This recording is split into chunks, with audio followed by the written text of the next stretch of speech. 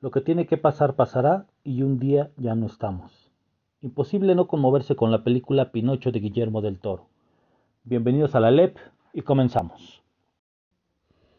La película Pinocho de Guillermo del Toro, realizada en stop motion, tiene una gran belleza estética y sin duda una gran música. La película acompañada de pequeñas frases y grandes imágenes nos llena de mensajes profundos. Hace imposible no conmovernos. En esta película, Guillermo del Toro nos muestra una propuesta diferente, la cual nos hace ver la historia desde otra perspectiva.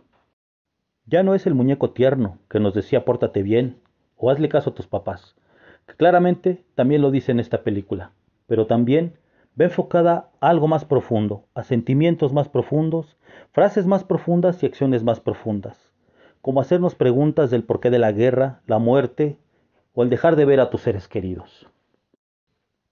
De esta manera la película nos conmueve al máximo. Otro gran acierto de la película es colocar a Pinocho en una guerra mundial. Este cuento italiano, acompañado de imágenes italianas e historia italiana, nos lleva a una gran reflexión. También, también añadir al Duce fue un gran acierto. Creo que Benito Mussolini, para la historia italiana, tal vez para la historia oscura, tiene gran importancia sin duda. Hacer partícipe al Duce en un Pinocho nos muestra gran parte de la cultura italiana. En esta película llena de grandes canciones, Guillermo del Toro se estrena como compositor con la canción Chao Papá. Grandes canciones acompañadas de grandes imágenes, como lo comentamos al inicio. En esta película vemos otra fraseta del maestro Guillermo del Toro.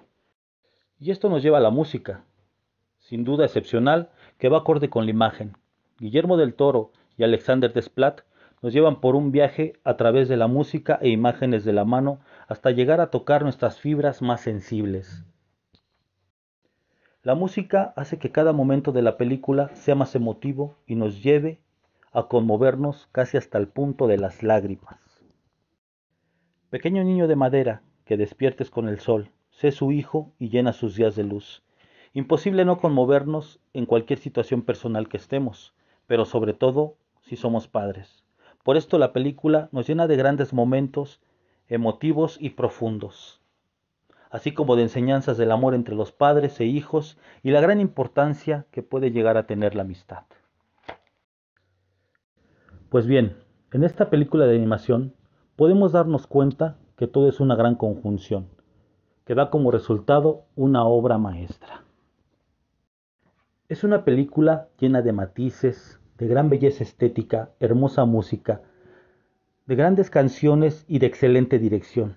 Sin duda, para el Alep, esta película se llenará de premios internacionales y sin temor a decirlo, será la mejor película de animación y ganará el premio de la Academia en este rubro. Sin ninguna duda, para el Alep, esta es la mejor película de animación que se hizo en el año. Y ojalá podamos ver la obra de Guillermo del Toro todos. Saludos y muchas gracias.